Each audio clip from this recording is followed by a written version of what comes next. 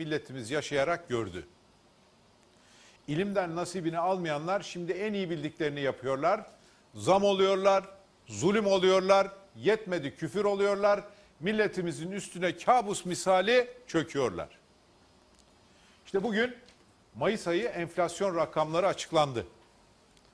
Anlaşılan TÜİK'te enflasyonu ölçen dairedeki başkan değişikliği işe yaramış. Mayıs'ta piyasanın enflasyon beklentisi yüzde beş, TÜİK'in açıkladığı enflasyon yüzde üç. Ve böyle bir farkın olduğu gün 2003'ten beri açıklanan madde sepeti ve ortalama madde fiyatları TÜİK tarafından saklandı. Önceden bu TÜİK marketlerini arayıp soruyorduk. Nerede olduğunu gizliyorlardı. Şimdi TÜİK marketlerindeki fiyatları da hepten gizlediler. Covid patlar ölüm verilerini karart. Doğalgaz biter depo verilerini karart. Kur korumalı mevduat elde kalır BDDK verilerini karart. Enflasyon patlar madde sepetini karart. E anlaşılan enflasyonla mücadele edemeyenler enflasyon rakamlarıyla mücadeleye hız veriyorlar.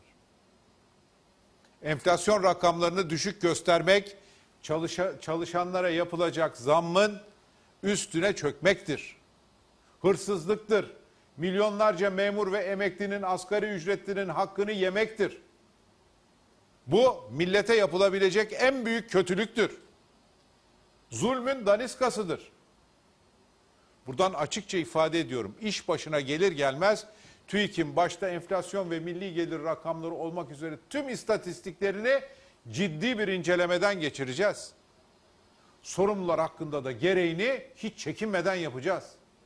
Bu bizim milletimize sözümüzdür. Artık TÜİK'in enflasyon rakamlarını öyle uzun uzun irdelemenin bir anlamı yok. Ama gördüklerimizi söylemekte görevimiz. Kul hakkı yiyen TÜİK'in makyajlı rakamlarıyla 12 aylık tüketici enflasyonu %73,5. 12 aylık üretici enflasyonu %132,2. Bağımsız iktisatçılardan oluşan ENAG'a göre ise 12 aylık enflasyon %160,8. Üretici ve tüketici enflasyonu arasındaki fark tam 59 puan. Rakamların makyajlı hali bile, haliyle bile bu fark tarihimizde görülmedik bir rekor. Bu ülke %100'ün üzerindeki enflasyon rakamlarını en son 1990'larda gördü. Bu tek kişilik ucube rejim sayesinde 30'lu yaşların altındaki milyonlarca gencimiz 3 haneli enflasyonla tanıştı. Erdoğan şahsım hükümetleri iş başına geldiğinde %30 seviyesinde bir tüketici enflasyonu, %31 seviyesinde de bir üretici enflasyonu devraldı.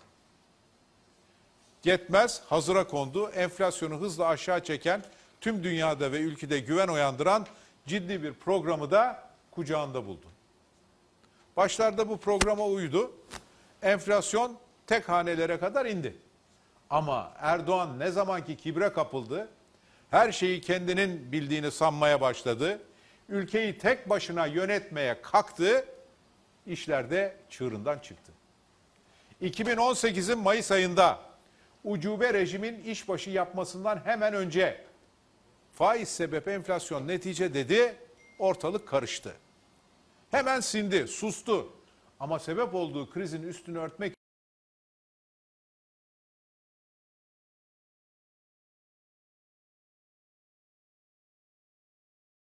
Ama sebep olduğu krizin üstünü örtmek için milletimizin 128 milyar dolarını Merkez Bankası'nın arka kapısından buharlaştırmak zorunda kaldı. Geçtiğimiz yıl kibri bir kez daha zirve yaptı. Bu safsatayı yine devreye soktu.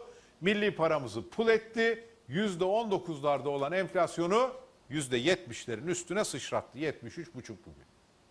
Şimdi bu safsataları hayata geçirsin diye atadığı enflasyonla hayat pahalılığıyla mücadele etmeye değil, bunların işi sarayın sebep olduğu enflasyona, hayat pahalılığına durmadan kulp takmakmış. Rakam karartmak, bahane üretmek. Yok dış güçler saldırdı, yok Rusya Ukrayna ile savaştı, yok Amerika Avrupa perişan oldu. Ya aynesi iştir kişinin, lafa bakılmaz. İşgal altındaki Ukrayna'da enflasyon yüzde 16,4. Dünyanın yaptırımlarına muhatap olan işgalci Rusya'da da enflasyon %17,8. İşgal Ukrayna'da, ambargolar Rusya'da 3 haneli enflasyon Türkiye'de. TÜİK'in makyajlı %73,5 tüketici enflasyonuyla dünya üzerinde en yüksek enflasyona sahip 5. ekonomiyiz. %132 üretici enflasyonuyla dünya şampiyonuyuz. Erdoğan'ın ağıtlar yaktığı, bizi kıskanıyorlar dediği Almanya'da enflasyon %7,9. İngiltere'de %9, Amerika'da %8,3. Dünyada gıda